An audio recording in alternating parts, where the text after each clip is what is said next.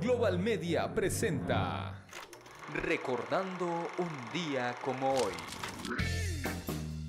Lunes 4 de enero y como dato curioso, un día como hoy, pero del año 1999, a las 7 de la mañana, 11 países de la Unión Europea, representando a un total de 290 millones de habitantes, lanzan una moneda única al mercado con el propósito de conseguir una mayor integración e incrementar el crecimiento económico conocido como el euro. Y llegó la hora de recordar los momentos más memorables, representativos y curiosos que ocurrieron un día como hoy. Y para ello nos remontaremos al año 1809, fecha en la que nace en París, Francia, Louis Braille, pedagogo de profesión, quien quedara ciego a los 3 años de edad a causa de un accidente e inventara más tarde el sistema de lectura para invidentes que llevara su nombre.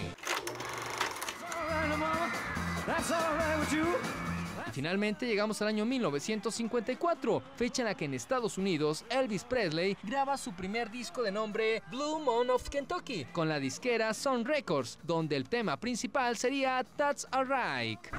Me despido y nos escuchamos el día de mañana para seguir recordando los momentos más memorables, representativos y curiosos que ocurrieron un día como hoy.